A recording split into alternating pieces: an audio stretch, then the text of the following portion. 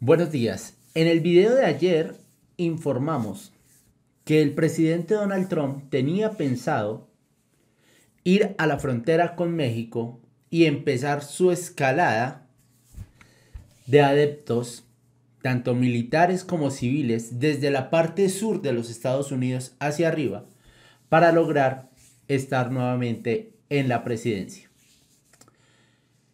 Hoy a raíz de esto y de la información que hemos recopilado, pues nos damos cuenta que este señor Joe Biden está asustado con ese tema. Y su primera acción militar en contra del señor Donald Trump fue nada más y nada menos que destituir al jefe de la patrulla fronteriza de los Estados Unidos, que había nombrado el expresidente Donald Trump. ¿Miedo? Parece que sí. Parece que este señor, Joe Biden, tiene miedo de que Donald Trump empiece ya a, a recopilar o a traer adeptos que puedan fastidiarle la vida a Joe Biden y que puedan en determinado caso hacer que le destituyan de su cargo.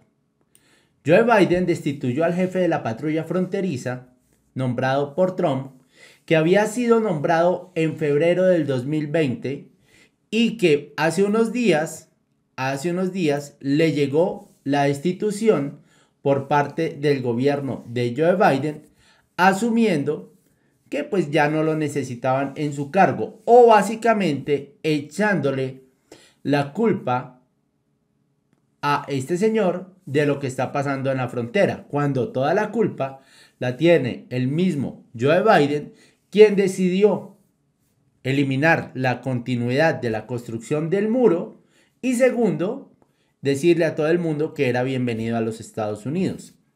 En un mensaje en su cuenta personal en Facebook, el señor explicó que había recibido una carta en la que le informaban su reasignación Aclaro que normalmente el receptor de este tipo de masivas tiene tres opciones. Una, la reubicación, una reasignación o el retiro, y que no se trata de una acción disciplinaria ni tiene que ofrecerse el motivo. Fue lo que dijo este señor dentro de la carta que colocó en Facebook. Simplemente las necesidades del servicio, tiene miedo, motivan la reasignación para que la nueva administración pueda colocar a la persona que se requiera en el puesto.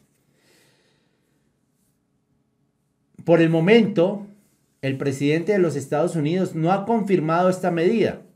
Tras su anuncio, Scott, quien asumió el puesto desde febrero del 2020, adelantó que permanecerá en su cargo unos 60 días más hasta que se produzca esta transición. Así actúa el socialismo, empiezan a colocar fichas claves en determinados puntos y en este momento, como la frontera es un punto álgido de la situación de la continuidad más de Joe Biden en el poder, pues tienen que colocar una persona que esté de acuerdo con sus lineamientos de izquierda allí y que permita y que no diga absolutamente nada para que no salga a la luz lo grave de la situación política que tiene Estados Unidos con la frontera y lo grave de la situación de mando que tiene eh, Joe Biden en esta zona. Nos vemos en el próximo video. Muchas gracias por estar acá y chao.